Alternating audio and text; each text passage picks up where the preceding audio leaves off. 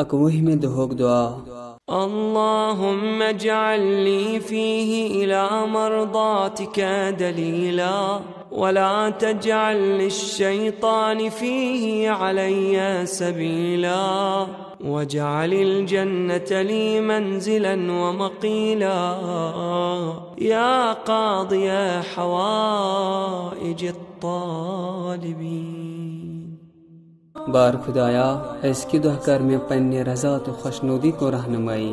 بے مد شیطان اس میں پٹوات تو جنت دل میان منزل تو میون مقام قرار۔ اے منگن والن ہز مانگ پور کرن وال